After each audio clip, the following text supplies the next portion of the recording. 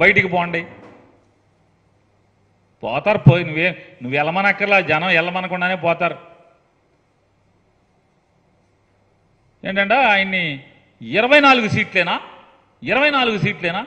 After all ఇరవై నాలుగు సీట్లేనా అని ఎవడు ఎవడంటాడు? ఎవడికేం పని? జగన్మోహన్ రెడ్డి గారికి ఏం పని? వైఎస్ఆర్ కాంగ్రెస్ పార్టీకి నువ్వు ఇరవై నాలుగు కాబట్టి నాలుగు తీసుకో రెండు తీసుకో సున్నా తీసుకో. రెండు వేల పద్నాలుగులో సున్నా సీట్లు కదా. ఏం తీసుకోలేదు కదా? మరి? ఎవడు ఏమన్నావు ఆ రోజు మాకేం అవసరం? నువ్వు సీట్లు తీసుకోలేదని మాట్లాడామా తీసుకుంటు తీసుకుంటే ఏంటి తీసుకోకపోతే ఏంటి? ఎవడికి బాధ? నువ్వు సీట్లు తీసుకోకపోతే ఎవడికి బాధ? ఒక విరివాడ రామచంద్రరావుకి బాధ ఒక దుర్గేష్కి బాధ. లేదా ఆశ పెట్టుకున్నటువంటి జగ్గంపేటలో కుర్రోడు ఎవడో గుళ్ళో పడుకున్నాడు ఇవాళ కూడా. ఆయన పేరేంటి సార్? ఏంటి సార్?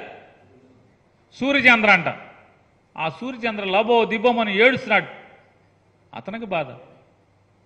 లేదా మీరు హాస్పిటల్లో నిరాహార దీక్ష చేస్తుంటే ఫోన్ చేసి నా మాటిను నేను ముఖ్యమంత్రి అవుతాను నేను ముఖ్యమంత్రిగా పోటీ చేస్తాను నువ్వు నిమ్మరసం తీసుకోమని ఏలూరు హాస్పిటల్కి ఫోన్ చేసినటువంటి హరిరామ్ జోగి గారికి బాధ.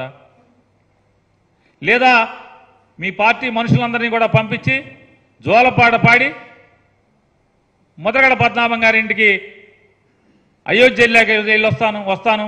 కాశీ వెళ్ళాక మీ ఇంటికి వస్తాను. కౌరులు చేసింది మీరు కదా ఏమనుంటే బాధ ముద్రగడ పద్మనాభం గారికి ఉండాలి లేదా మీ జెండా మోసే కార్యకర్తలకు ఉండాలి.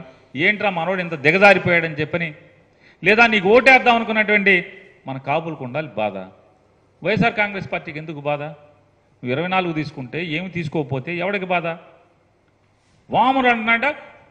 జగన్మోహన్ రెడ్డి నాకు ఏ జగన్?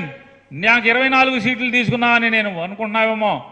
నేను వామను లాంటి పొట్టోడిని అనుకుంటున్నావేమో? బలిచక్రవర్తిని తొక్కినట్టు తొక్కేస్తాడంట.